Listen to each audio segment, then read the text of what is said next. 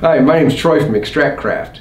Today I'm going to teach you everything you need to know about Buchner filtration. These guys have been around a long time because they're very reliable. The reason people like them is because they're fast, you can use different filter papers for different filtering needs, and it's high quality. As you can see, they come in different sizes. You can match the 5 liter capacity of this big guy with the EtOH Pro, or you can use a 1 liter or 500 milliliter for the Source Turbo. They look the same because they're all made of the same simple components.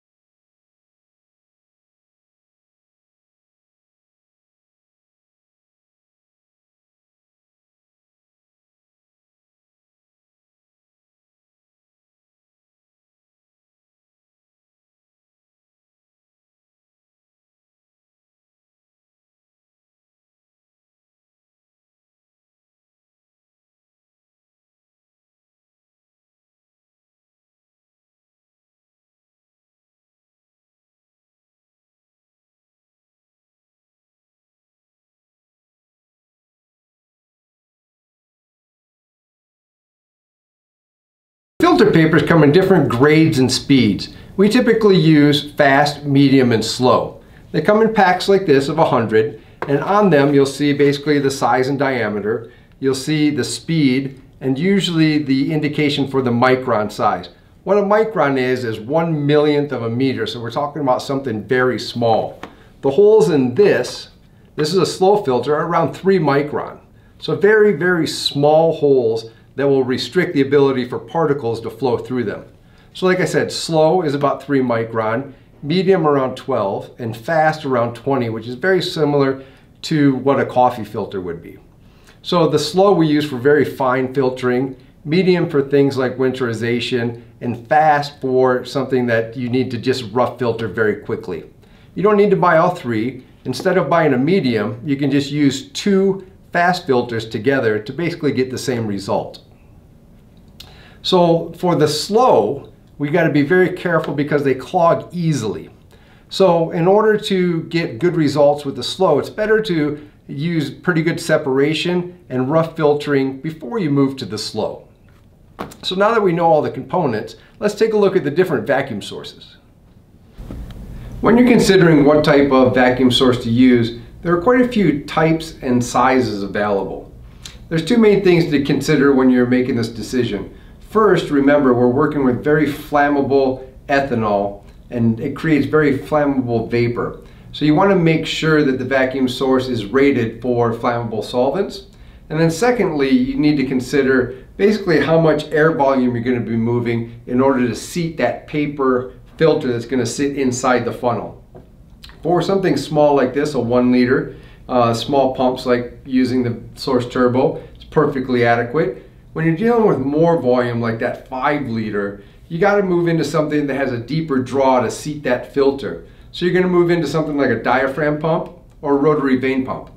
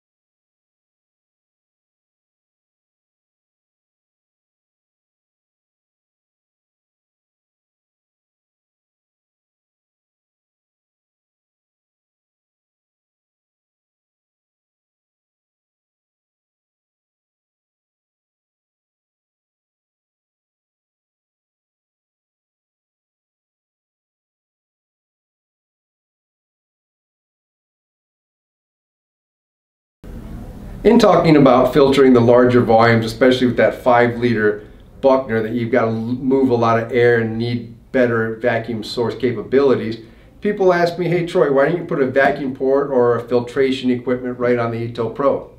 It's not that we didn't think about it, we just figured it was not a good idea. Number one, the pumps for this are not made nor big enough to move that amount, that amount of air volume quickly. And then also, why would we ever want to filter into our loading vessel? If you do, and you've got to refilter, you've got to empty it, the particulates from the first are already in your loading vessel. If you've got to do it again, you can't see what's actually happening in here. So neither using a vacuum port from this nor putting filtration on it, in our opinion, is a good idea. Once you're dealing with this type of volume, it's better to use a proper vacuum source and proper filtration equipment. So now that we've covered the Buchners themselves and the vacuum sources, let's take a look at the whole process in action. Now we're ready to run an example and show you actually how the system works. And we're going to do it using the Source Turbo, a one liter Buchner, and also a roughly filtered lavender tincture that I've prepared.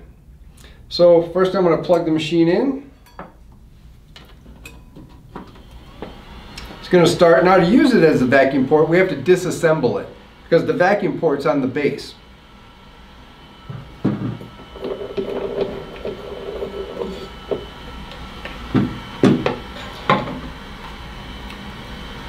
So now that we've got all the pieces off, there's a little plastic nipple right here on the base. That's the vacuum port. So what we do is we're going to take this piece here, and this is what comes with the Buchner set uh, that we sell. Otherwise, you can buy the proper size. This is a 1 8 inch inner diameter tube that fits right in the vacuum port. The other end goes right on the Buchner. And then we're going to check to make sure that the vacuum screw here is closed all the way. Actually, let me show you one thing. Some people sometimes are wondering why the vacuum pump shuts off during the process. If the funnel gets clogged with a lot of small particles, the base here will come under basically full vacuum that this machine is programmed for. So what I'm going to do is I'm going to turn it on. I'm going to simulate full vacuum just by plugging this hole and you'll hear the machine kick on and off when I either release or apply my thumb.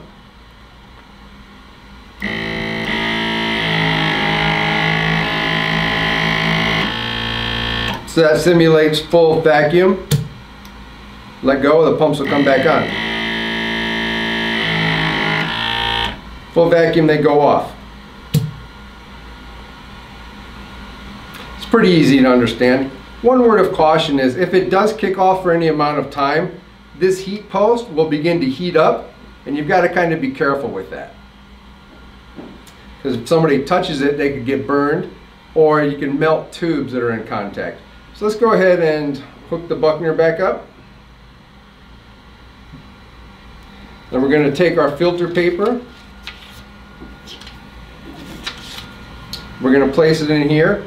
And this is, a, this is a very important part. Before you apply the vacuum, put some ethanol on that filter so it can wet and get seated and, and form that really good vacuum.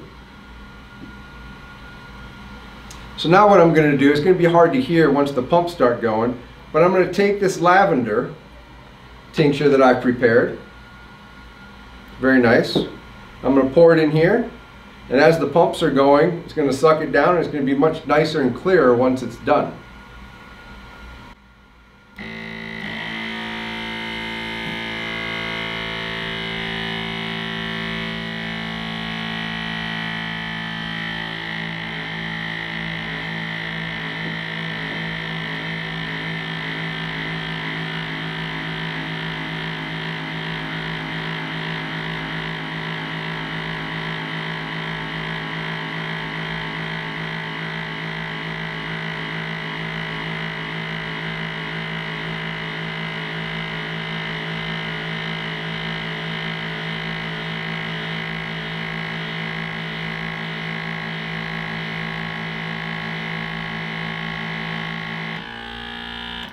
That's where it picked up. So this is under full vacuum as far as this is concerned. So the vacuum shuts off and just allows the negative pressure in here, or negative vacuum in here that's built, just to continue sucking on the bottom of here. Perfectly normal, perfectly good.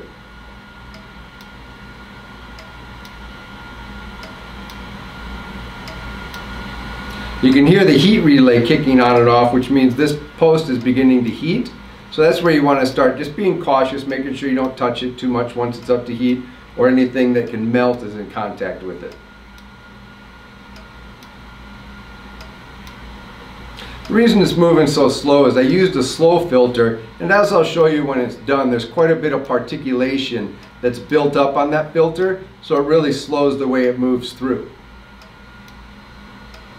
But as you can see, the results here are coming through very nice.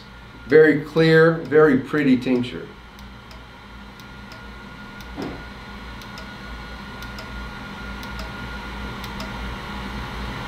There we go. Now we're finished.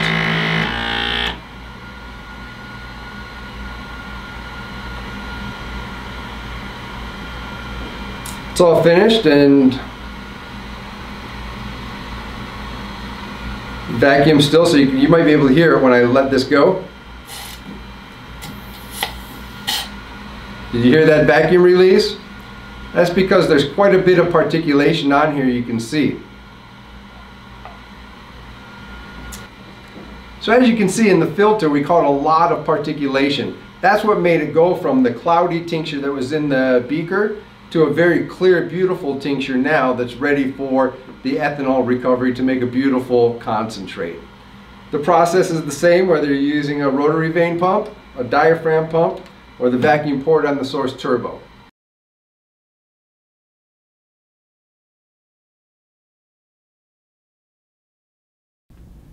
I'd like to wrap up and conclude with a few cautions and tips on uh, Buchner filtration. The first couple I have to do with the filter paper itself. I mentioned that once you put it in, wetting it with some ethanol allows for a better seal. So make sure you apply the vacuum, put the paper in, wet it, and then it'll seal nicely. Also check to make sure it fits well. Sometimes the papers can be a little bit too big or a little bit too small. They need to be large enough to cover the perforated holes that are in the funnel, but not so large that they bump up against the side and cause some kind of creasing. Somewhere halfway in between the holes in the wall is optimal. When I do my filtration, often I'll do maybe two, maybe three passes. I'll start with a rough filter, uh, like with a fast filter paper, and then move to a slow, or maybe I'll do a couple fast or a couple slow. But sometimes you want to do more than one just to get the optimal quality of your filtration. So when you're thinking about that, often it gets kind of difficult to use only one set. So I like to have two or three sets on hand. Um, if you do rough filtering, you can imagine that the particulates that go through that filter paper can either uh, get stuck here in this funnel part or they can reside later in the flask. So when you refilter what you think is clean, it's going to pick up those residual particles that are still in the equipment. So I like to move between a couple different Buchners uh, to keep things clean. And then before I use them, I always want to inspect them because if there's any type of damage from dropping or clanging around when you're cleaning, it could cause them to implode um, or break when it's under vacuum because there's quite a bit of vacuum pull on the glass when it's being used. Then the port also is obviously glass, so it can be delicate. So make sure when you're taking this tubing on and off, you're going straight back and straight on, not giving it up and down lateral pressure because that can break. So one of the more important things, and you, you got to kind of think about how rotary vane and oil pumps work when you're using them. When they're connected to this tubing with a negative draw, if you turn the pump off while it's still drawing from in here, it can suck oil out of the pump through this tubing and into your filtration. Obviously, that's not a good idea. The simple way to make sure this doesn't happen is just anytime the pump is connected to the flask, leave the pump's running, leave it on. Don't turn the pump off and then let this pull the oil out of the pump. It doesn't happen instantaneously, but if you leave it off for a little while, it eventually pull it out. So it's just a very good thing to avoid. Then lastly, how do I clean these? I, this is pretty easy. I often just take, for the funnel, because like I mentioned, there can be particles stuck up in this bottom part of the funnel. I'll, I'll block it with my hand like that, and I'll fill it up with water to the top, and then just let it gush out.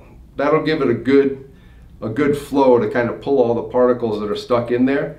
But the problem is obviously, just like with the particles getting stuck in here, water can get stuck in here. So you're gonna have to make sure you set it both ways and give it a long time to air dry and make sure it's dry so you don't get that water contamination in your extract, which is obviously not a good thing.